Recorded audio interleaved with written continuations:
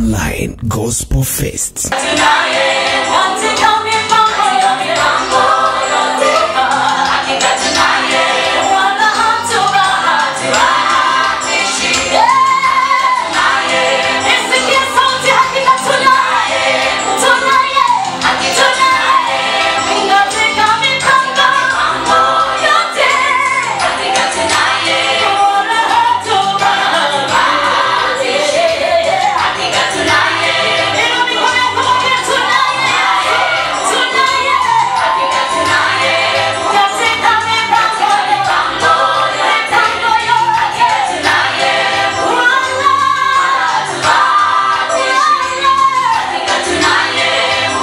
Tumekutana na mwanamuziki wa nyimbo za injili mkongwe kabisa ah, ambaye ameimba ile nyimbo hakika tunaye mungu.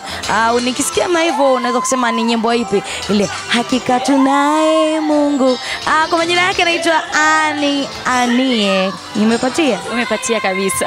Ehe.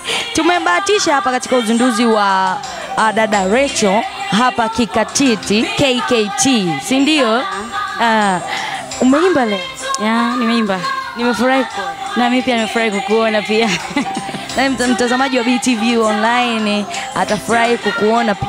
Mhm, mm-hmm. nashukuru pia kwa mtazamaji wa BTV na wapenda pia Nyimbo yako ya hakika tunaye Mungu ni nyimbo ambayo imesikika zamani sana mpaka leo hii inapiga haichuji. Akati unatunga huu wimbo nini, ni, ni nini ambacho ulipitia labda mpaka ukatunga huu wimbo? Ah, siwezi nikasema labda ni kitu fulani nilipitia nikatunga, ni kwa sababu ah, kwanza unakuwa na kitu ndani, alafu ukishakuwa nacho kina come out au kinatoka nje. Kwa hivyo nilikuwa na ndoto ndani, baadaye sasa ikatoka nje na nikaanza kuandika, kwa sababu nilikuwa na huduma ndani yangu. Niliandika yani katika mazingira ambayo niseme hayakuwa na msongo sana, lakini kama mwanadamu kuna changamoto ila Mungu aliniwezesha kuandika, so nikajikuta nimeandika tunaye Mungu, na kwa kweli ikawa imepiki. Na hii ni albamu yako ngapi? Tunaye Mungu ni albamu yangu ya kwanza kabisa, ni mzaliwa wa kwanza Kwani ya kwanza kabisa unavyoanza muziki wa injili? kati naanza muziki wa injili, japo hapo nyuma nilikuwa naandika nyimbo za worship praise, kulingana na nilikuwa sijawa sana famous ama kufahamika kwenye kuitwa kwenye vitu kama uimbaji. Kwa hivyo nilikuwa naandika nyimbo na imba tu kanisani kama kawaida, Okay. kwaya nini hivyo tu. Na sasa una albamu ngapi mpaka sasa hivi? mpaka sasa hivi sijui nisemeje, ninazo nyingi, lakini ambazo ziko out ni tatu, ambayo ni hiyo tunaye Mungu, alafu hakika tutashinda, yenye Bwana atafanya njia pasipo, alafu na siri ni Yesu. Lakini baada ya hapo sasa nimebahatika kutengeneza nyimbo mbili, albamu mbili, sio nyimbo, albamu mbili. Ya kwanza ya kuabudu tu, ina nyimbo za kuabudu tu, inaitwa The Spirit of Worship alafu na ya nyimbo kama kawaida. Kwa hiyo kwenye mwaka huu nitaachia albamu mbili kwa pamoja. Okay, kwa hiyo mwaka 2019 Ani Ania anaachia albamu mbili kwa pamoja. Kwa hiyo hizo mbili na zile tatu inakuwa tano.